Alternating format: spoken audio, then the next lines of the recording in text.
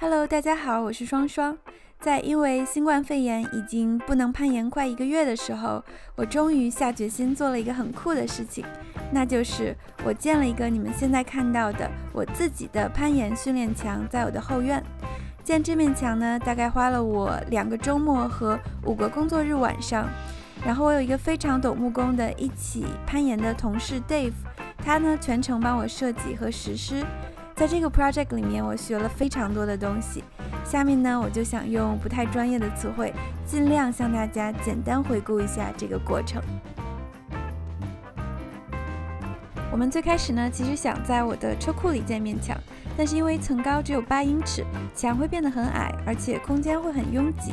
后来呢，我们想在后院里建面 freestanding 的墙，但这样差不多就要占据整个后院的空间，夏天就没有办法烤肉了。最终呢，我们想到把我后院侧面一个不怎么用的亭子拆掉一部分，变废为宝来做这面墙。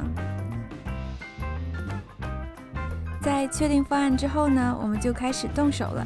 最先做的事情就是要把这个亭子上面的木头都拆掉，因为这些我们都不需要，我们只要保留竖着的四根柱子作为墙的最主要的结构支撑。拆完以后就变成了这个样子。接下来就是要去买材料，在买材料之前呢，我们画了个草图，列了一个清单，然后就去租了一辆 U 号。第一趟呢，主要是买最主要的材料，就是很多做墙架的木头、三张墙面的木板、户外的防水漆，还有各种零件。材料是不可能一次买齐的。做这个 project 期间呢，我们差不多往 Home Depot 跑了五六次。然后我们从比较简单的 kickboard 的框架开始搭起。这里工具用到了 circular saw，把二乘四英寸的木条测量好，然后固定在柱子上。这部分比较简单，我们大概用了不到一小时就完成了。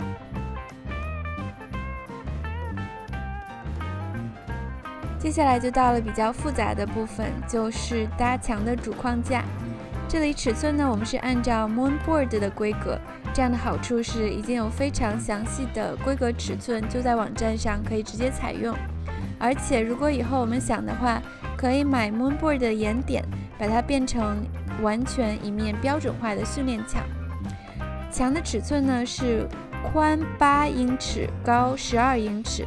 幸运的呢是我这个亭子的横面不多不少，宽正好是八英尺。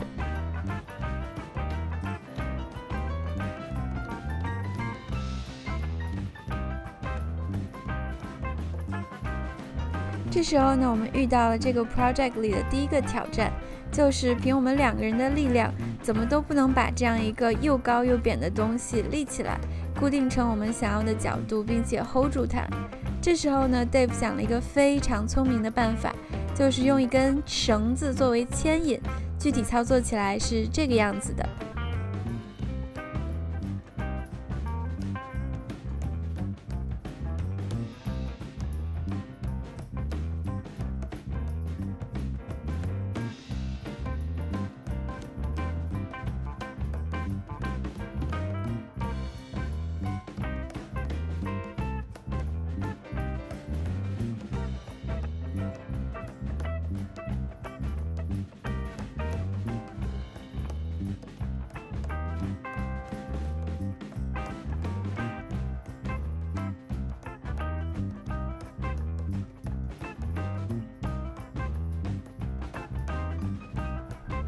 关于墙的倾角，Moonboard 的板呢有两种角度选择，四十度或者是二十五度。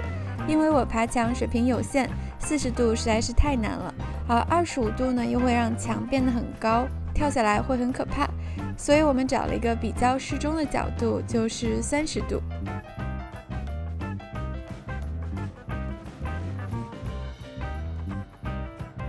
在主板固定住了之后呢，就是一些比较简单的工作了。我们切了一些小木条，固定在板子上，还有板子旁边，进一步起到了支撑的作用。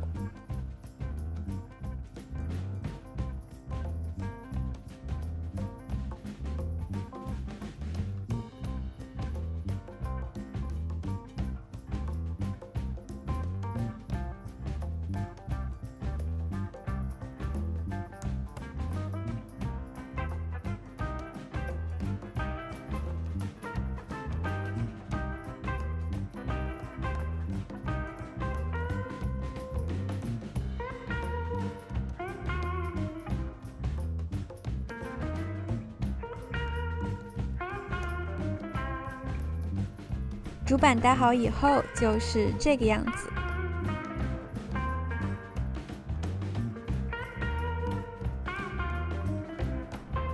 接下来呢，我们要把新装上去的木条和原来的亭子变成一个统一的颜色，就是涂上一层棕色的户外防水漆。这个防水漆涂上以后呢，就算在外面风霜雨打，都不会进虫或者木头腐蚀。这里要提到的一点是，我们的木头条买的都是 pressure treated wood，这样就能进一步防止被虫咬。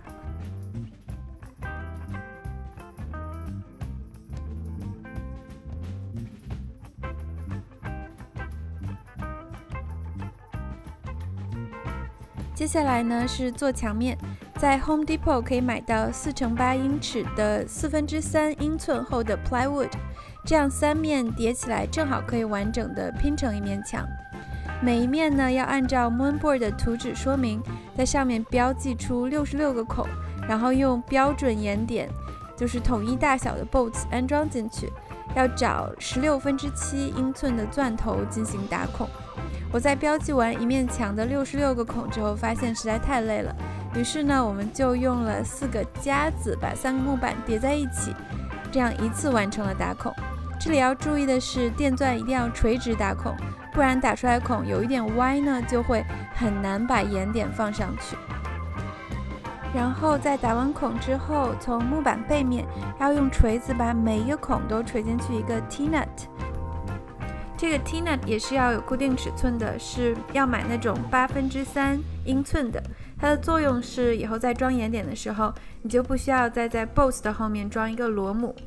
然后需要注意的是，我们犯的错误是我们先装了 T-nut 再刷漆，导致漆进入了小孔里，然后在装眼点的时候就非常难装。最好是先刷漆，然后再装 T-nuts。这里刷的漆呢，也是户外的那一种防水漆，我们是刷了两遍。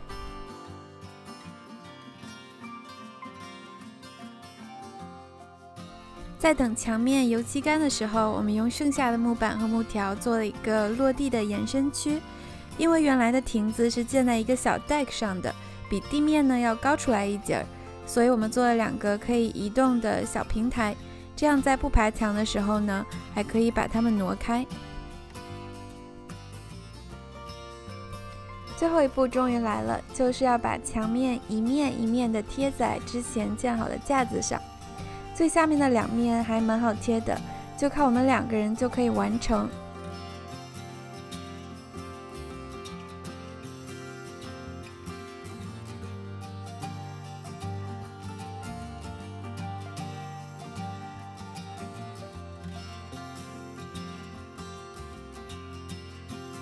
而上面的两面呢，由于 plywood 非常沉，要托举到很高，并且保持那个角度是很难的事情。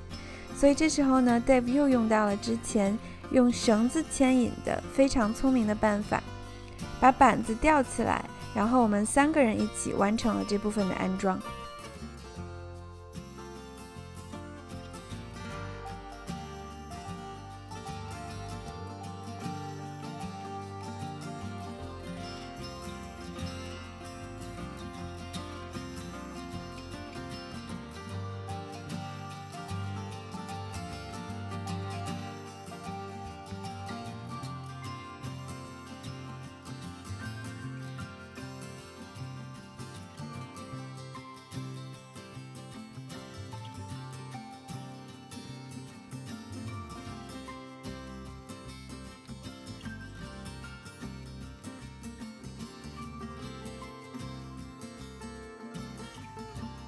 这样呢，墙就算是做好了。我们从各个网站买了一些眼点，开始定了第一条线。这里的经验呢，是对于有倾角的线，一定要多买 jugs，因为所有的点加了角度以后都会变得非常难。接下来还有很多收尾工作要完成，比如说买更多的眼点，在墙后面加一个防水 cover，还有呢就是努力训练，不要再长胖了。Lastly, I want to give a big thanks to my coworker, my good friend, and also the person who introduced me to climbing, Dave. I brought this idea up to you when I never thought it was really going to happen, and we did it. I'm really looking forward to all the fun sessions to come.